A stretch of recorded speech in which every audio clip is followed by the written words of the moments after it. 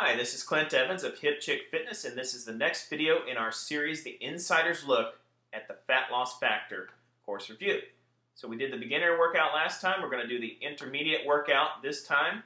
Probably again, what you would expect to see. Specific exercises, number of reps and sets, what day you're going to do these on, and again, very helpful click to view example. So it's going to have examples we can look at. Let's just click and see what happens with one of these. And uh, so yeah, it's a video example. Really cool. Look at that animation. Very nice. And it replays. So that's excellent. That's the intermediate weight loss and or intermediate exercise. And again, it shows you an animated example on video of how to perform the exercise with proper form so you can avoid injuries and get the maximum benefit from the exercise and so you can do your workout in minimum time. I'll see you on the next video.